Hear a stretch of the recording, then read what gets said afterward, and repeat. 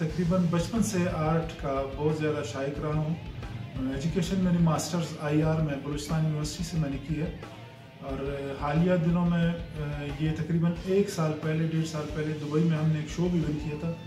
वहाँ पे हमने गाड़ियाँ मॉडिफाई की थी, उसमें 2018 के शो में हम विनर रहे थे। और पाकिस्तान में जैसे कि आपको पता है, ये चीज़ नहीं अभी तक इंडिया पाकिस्तान, ईरान, इन मुल्कों में ये आर्ट का अभी तक इतना ज़्यादा कंसेप्ट नहीं है। यहाँ पे अभी वही पुराना ट्रक आर्ट चल रहा है, जिसके डायमेंशंस नहीं होते हैं एक्सेस नहीं होते उनके। तो मैं चाहता हूँ कि यहाँ पे ये जदीद किस्म का आर्ट मुतारफ हो, यहाँ पे ये इंट्रोड्यूस हो टैटूज लोग बनवाएँ। हमने टैटूज का भी अभी प्लान किया हुआ है कि टैटूज हम शुरू करेंगे बॉडी के ऊपर।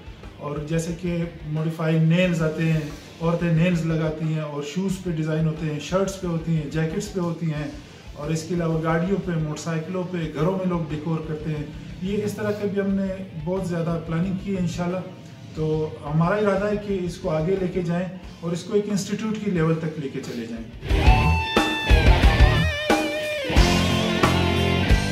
कोई बारह या तेरह शोबे ऐसे हैं जिसमें औरतों के, बच्चों के और लोगों के, यानी कि गाड़ियों का मोटरसाइकिलों का, घरों का तो बहुत ज़्यादा इसमें स्कोप है, बहुत ज़्यादा बिज़नेस ग्रो करेगा, बहुत ज़्यादा पैसा कमाया जा सकता है, मुल्क को बहुत आगे लेके जा सकते हैं हम लोग। ये मैंने तकरीबन आठ साल से प्रोफेशनल लेवल पे इसका मैं काम कर रहा हूँ। तो हमें उम्मीद है कि इंशाल्लाह इसको आगे भी लेके जाएँ। मुझे बहुत ज़्यादा उम्मीद है कि मेरे इस वीडियो पैगाम से लोग कम से कम इतना कर सकेंगे कि लम्स यूनिवर्सिटी लाहौर में या इस्लामाबाद में या कराची में, बड़ी यूनिवर्सिटियों में इस आर्ट को लेके इसके ऊपर काम शुरू किया जाए, एयरब्रश आर्ट के ऊपर। मुझे उम्मीद है कि आने वाले चंद सालों में हमारे पास कम से कम कम से कम इस 25 से 26 करोड़ की आबादी में हमारे पास कम से कम मिनिमम एक फिगर मैं आपको दे रहा हूँ कि 100 मिनिमम हमारे पास थ्री और टैटू आर्टिस्ट होने चाहिए।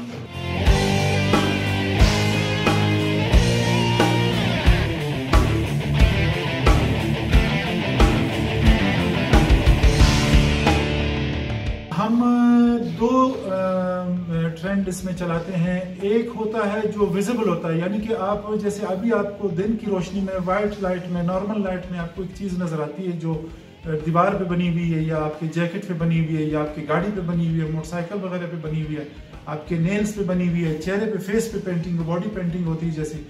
तो इसमें एक इनविजिबल स्टाइल है जो जिसके कलर हम चाइना से मंगाते हैं, जिसके कलर अमेरिकन उसमें कलर मिक्सिंग होती है।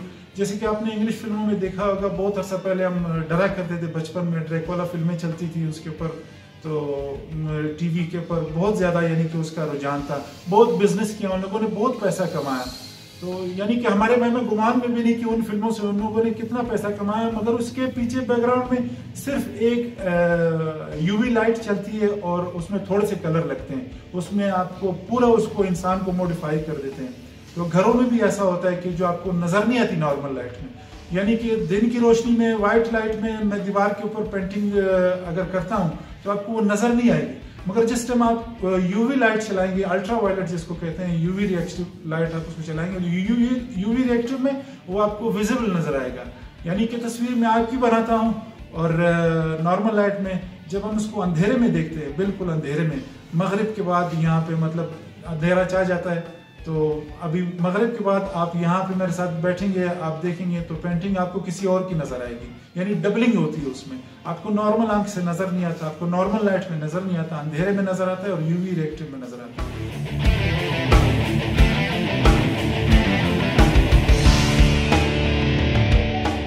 मैंने देखा, मैंने चेक किया बैरिया टाउन पाकिस्तान का सबसे बड़ा हाउसिंग स्टाइल है जो पाकिस्तान में चल रहा है। अभी तकरीबन हमारा जदीद स्टाइल जो है बैरिया टाउन का मगर अभी तक जो डिकोर का जिसमें गोल्ड लीफ लगते हैं, सोने के जिसमें, चांदी के जिसमें गोल्ड लीफ लगती हैं डिकोर में, घरों में, अभी तक वो नहीं चलाना, अभी तक वो स्टार्ट हुआ है। मैं चाहता हूँ कि ये चीज़ें हमारे इंडस्ट्रियल लेवल पे आ जाएँ। टैटूज डिकोर और ये एयर ब्रश का काम ये यूनिवर्सिटियों में पढ़ाया जाए। इसके लिए टीचर्स ट्रेन किए जाएँ। इसके लिए हमारे पास कम से कम मिनिमम 100 से 200 के आर्टिस्ट होने चाहिए जो हमारे कवर कर सकें।